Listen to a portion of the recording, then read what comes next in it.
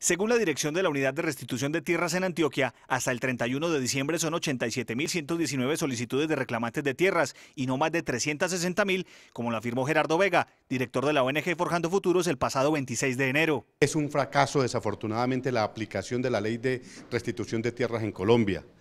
Tiene que el gobierno nacional hacer grandes modificaciones para poder sacar esto adelante.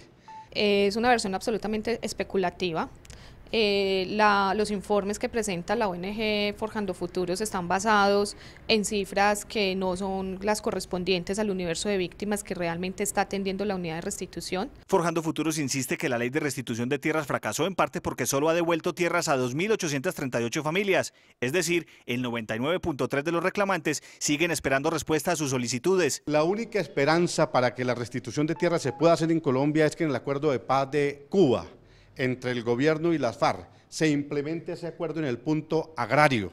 Sin embargo, la Unidad Nacional asegura que se han sentenciado 3.160 casos que significan más de 179.000 hectáreas de tierra con sentencia restitutiva. Tenemos 11.374 casos ante los jueces. O sea, los jueces de la República en este momento, los jueces de restitución y los magistrados de restitución tienen en sus despachos 11.374 casos para decidir.